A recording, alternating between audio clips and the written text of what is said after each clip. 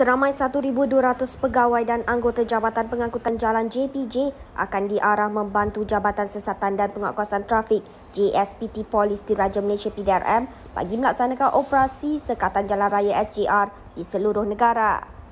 Ketua Pengarah JPJ Datuk Zailani Hashim berkata SJR yang dilaksanakan kini berbeza daripada SJR sebelum ini berikutan ia lebih kepada usaha mengesan kesalahan merentas sempadan. Katanya sebagai agensi penguat kuasa, pihaknya sentiasa sedia membantu dan bekerjasama dengan PDRM dalam menguatkuasakan undang-undang ditetapkan. Sumbat seperti tiap kala. Tapi boleh jadi kapasiti uh, mana tuan uh, Dr. Azri ni uh, pengarah Kementerian Negeri Sembilan uh, kapasiti kita tak boleh full juga di Sumban tapi kurang-kurangnya kita buka